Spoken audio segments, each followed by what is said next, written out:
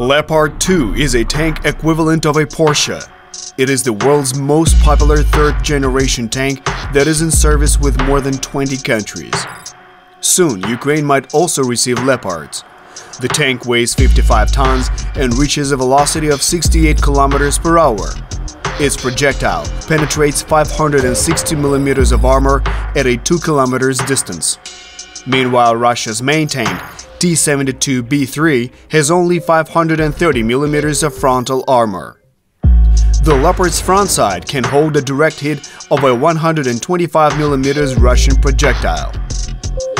Ukrainian generals claim 300 tanks will be enough to gain victory over Russia, a goal that can be reached considering that more than 3,000 Leopards have been produced to this day.